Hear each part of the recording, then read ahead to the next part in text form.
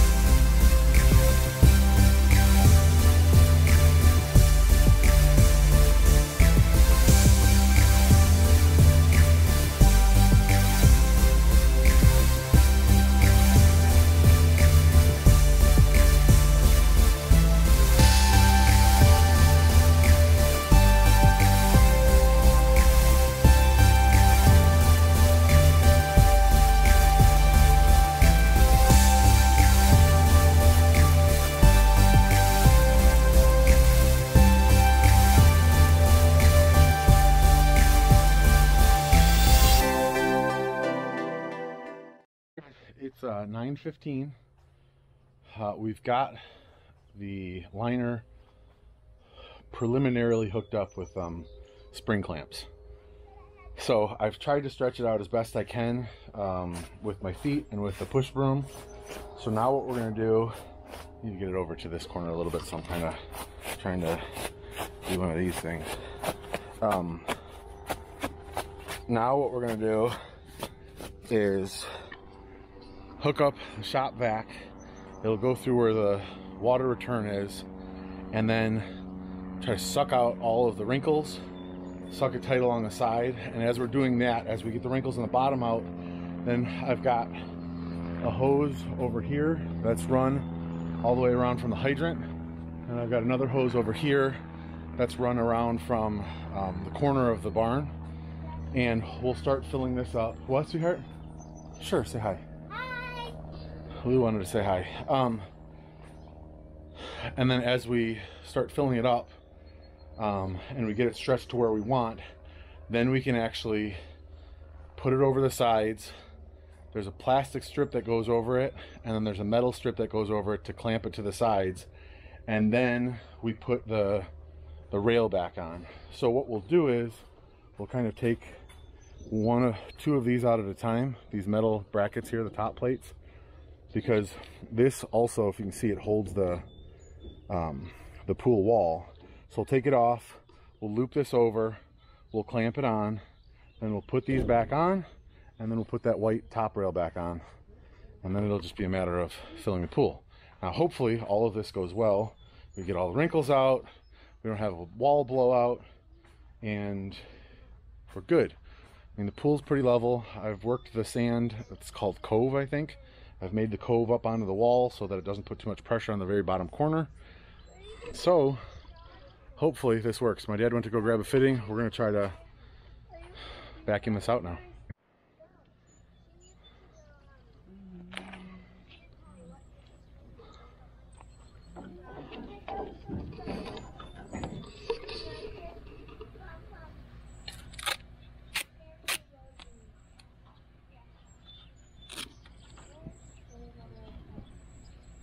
Air in between has already gotten so hot. Snap it off and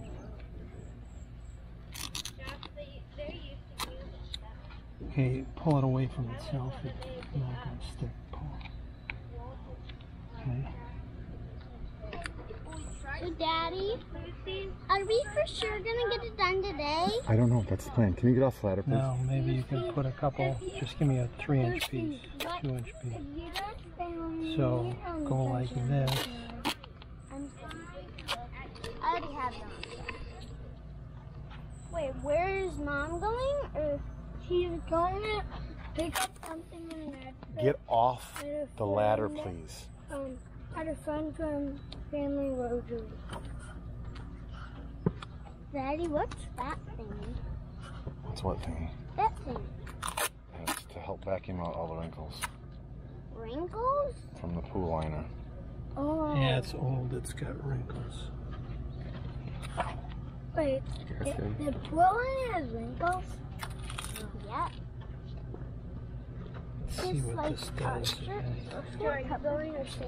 Okay, so we got we got it as stretched out as we could. The vacuum wasn't working. I don't know if you have to clamp everything around the top, but if we we have, I'm worried if we take off all of the the top rails, the wall will start to fall in again because we don't have it hooked at every single section. Maybe that's a unfounded fear, but so what we're gonna do is we're gonna start putting some water in, and uh, I'm gonna stay in here, and we're gonna try to stretch everything towards the edges as we get a little bit of water And So the little bit of water will help keep it in place once we stretch it. That's the plan. We, I mean, because you can see there's enough wrinkles here that we could get another inch or two this way, and you know, same thing over here. So where the water is, you can see it stretching out, and there's no wrinkles. So we just need to keep moving this like this out towards the edges so that we don't have any wrinkles.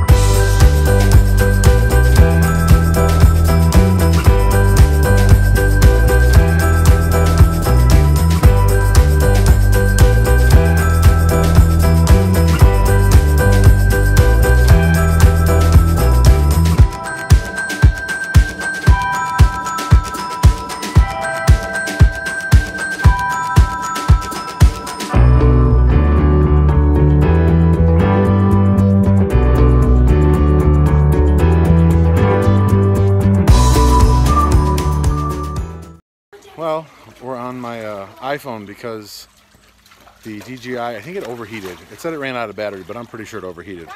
So we've got water in the whole bottom. I've got a water truck coming. Uh, he's able to come this afternoon. Um, he's going to bring 12,000 gallons. So that'll really help out a ton. Um, I'm hoping by the time he comes, it's like another four hours, that I'll have this up onto the walls two or three or four inches so that the whole bottom, the bottom is pretty much stretched as far as I can stretch it at this point. I don't can see, I'm like in, know, four inches of water, but it's a little bit deeper here than it is over there. Like the rail is the same, but apparently this got a little bit less level when I was pulling sand, so there's a slight deep end here. Um, so if it gets all stretched out, guys, can you stop please? If it gets all stretched out, when he gets here with the 12,000 gallons, hopefully by that time, we can have the walls totally stretched up and have the rails back on top of it. And then he puts in the 12,000 gallons. And then, what? You want to show him? Putting his face in the water. We can have the rails put on. We won't cut cut out the um, the skimmer hole or the water return hole until um, he puts the water in because it could stretch out the liner more. But hopefully by that point we've got. I mean the the floor will be all done. I mean it's mostly done at this point. We just need a couple more inches of water. So we're getting there. These monkeys wanted to get in and play. So I'm skimming. you're skimming. Daddy. Yes, sweetheart.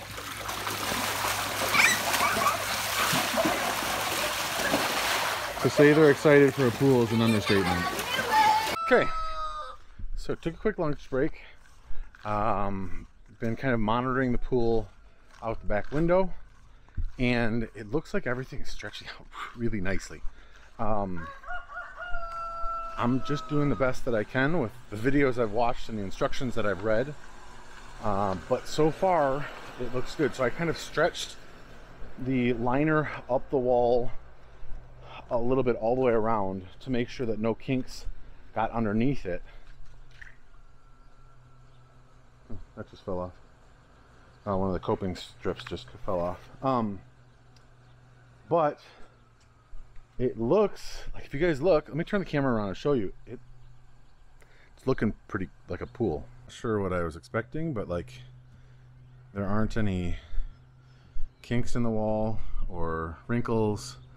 It's stretching out pretty good. Like you can see down here, there's still some play to it. And that's one of the videos that I watched said to make sure you do this on a warm day, um, 80 degrees or above. Well, it's over 80 degrees and everything's stretching out nicely. We got the the floor of the liner stretched out as best we could with no wrinkles. I mean, there's probably still, I mean, I can see a couple teeny tiny wrinkles there that I'll probably try to get in and see if I can get towards the edge. But it's all really comfortable on your feet down there. And uh, it's looking good. We've got about two hours until the water truck comes. So once the water truck comes, it should be filled up about to there. It should be over two thirds of the way full, maybe even more. Um, they're bringing 12,000 gallons. I figure this is somewhere between 18 and 20,000 gallons. So it's 18 and we get 12. That's two thirds of the way. And we've been running the hose for three hours now. So that should be somewhere in the neighborhood of 3,000 gallons. So, uh, yeah, we'll be we'll be good. I think we'll be getting there. I'm gonna just keep on watching it. I'm probably gonna get in, like I said, but uh, so far so good.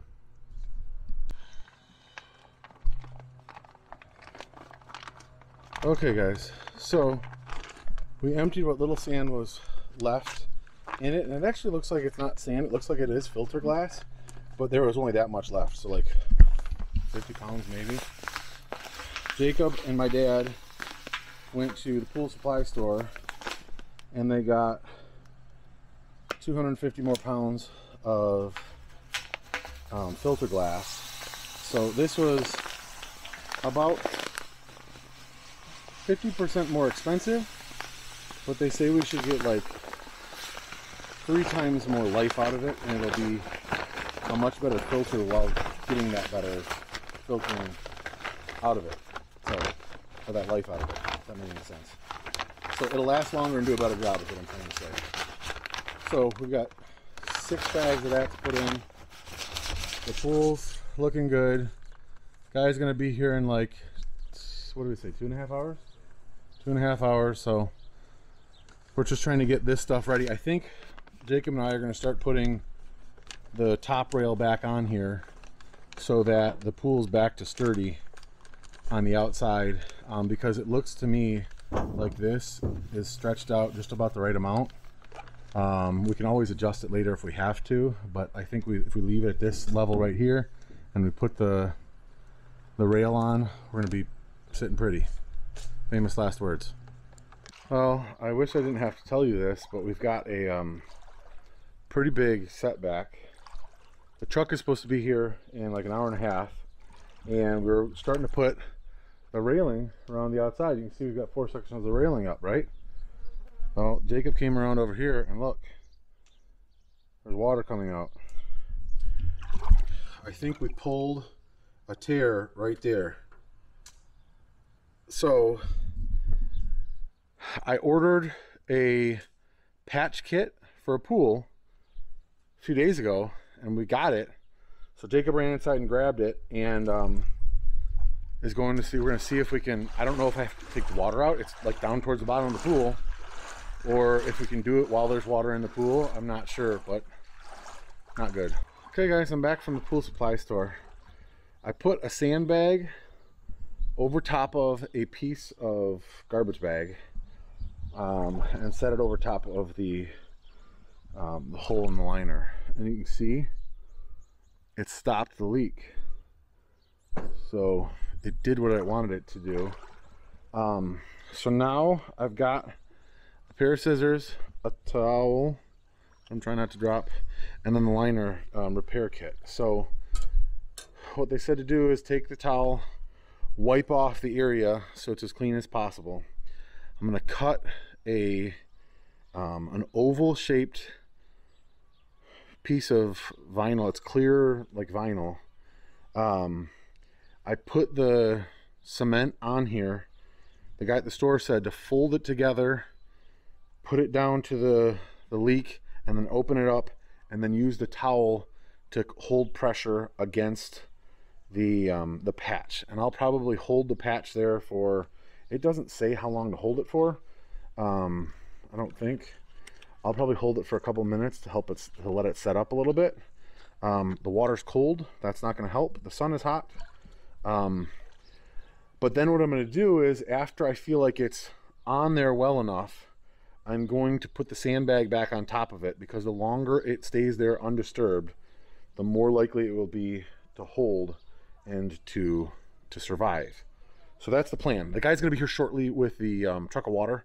So I gotta do this quick. So I don't know if I'm gonna be able to do this with video because I gotta get in there and there's nobody around. So, okay, I followed the instructions. Um, hopefully it works. I put the, um, the bag of sand back on top of it. I'm just gonna leave it there. Like for now, I know that with that vinyl patch on and with the, um, the sand on top of it, it's not gonna leak. It like it will not leak at all. So hopefully this patch holds. It does what it's supposed to. I put enough glue on. It's said to be very, um, not to put a whole lot of glue on. So I didn't put a whole lot of glue. Like I just kind of put a thin layer over all of it. I hear a big heavy truck. This could be our water. So I'm gonna go ahead with putting the water in um, from the truck. I didn't cancel the water truck. Hopefully that works. Um, I haven't seen, there's been no other leaks that we've known, that we've seen. No other wet spots. So, hope it all works. That's the plan. That's what we're going with. There's our water. And you said it'll go in in 20 minutes? No, I don't. I don't want you to rip it.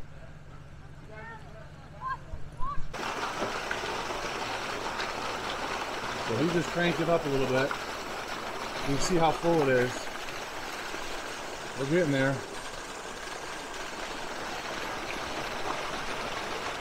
We got all the top rail on all the way along. We just got to put the, uh, the caps here and the caps on the bottom. Okay, the um, the water truck just left, and you guys can see pool is just about full. I mean, it's probably still got like eight inches more water we can put in. Um, it's not leaking out like it was before. Um, but I think it seems like it's a little bit wider. So I'm gonna make some marks so I know where the water was and is. Um, so that if it continues to widen, I know that it's there's another leak or there's more leaks or that leak's not fixed. Um, I think it's along this one seam where the one was that it would be where the one leak was. When I went to fill it there was a little bit of um, like an indentation where I think some of the sand had kind of worn away a little bit. And it looks like I can see maybe one or two more of those. So I'm not sure but I'm actually gonna probably put my swimsuit on. The water's cold but it's not that cold and um, go in there with the mask and see if I can figure it out. But it's not if it's leaking it's not leaking away like it was before. I could see when I looked at the at the leak where that bag is I could see the leak. I could see the you know the slight tear in it. I don't see any tears in this and the rest of it. So it's possible there's still a little leak someplace. I'm gonna get down there and see if I can find it. Um, but if it is it's it's significantly slower. So the kids are super excited. The uh, ladder inside got knocked over. So I'm gonna need to grab that with something so I can get in without killing myself. Um, but yeah we're close to having a pool. Hey guys. I realized I never closed down the video last night. You guys are a little bit dirty. How's that? That a little better? Um, so I realized I never closed down the video last night. Pool's up this morning I stopped at Home Depot and got some lumber threw together a stairway. You can see it's still there's a decent step to get in which is fine because that little girl right there we want to be able to keep out. So I'm thinking if I put a board across at like this height she won't be able to get in. We may just move the stairs away every time to be doubly sure. Um, I still have to put the caps back on the corners um, right here so there's no edges. But I don't have the right hardware so I don't know if it didn't come with us or if it's in a different bag that we put someplace else or what. But it's 95% done. My dad is actually my dad is actually going to stop and get the hardware so I can zip that stuff back together and be done with it. Um, pump and filter is working great. I think I told you we, we bought um, six bags of filter glass that's supposed to last like 9 to 13 years or something. Um, figured out how the vacuum works so it is supposed to be like 96 today with super high humidity. So we're gonna enjoy this a ton. So thank you guys so much for watching. If you've made it this far, please think about subscribing if you've enjoyed it. Click on the thumbs up, leave a comment. I really appreciate it. Kids appreciate it. Like seeing comments on the channel. So thank you for watching. God bless you and your family. And I'll see you guys in the next video. Almost three. Are you videoing? Yep. Okay. You guys don't look like you're having fun in the pool on a video. Alright, Lou, Lou, Lou, you wanna come again one more time for the video? Alright.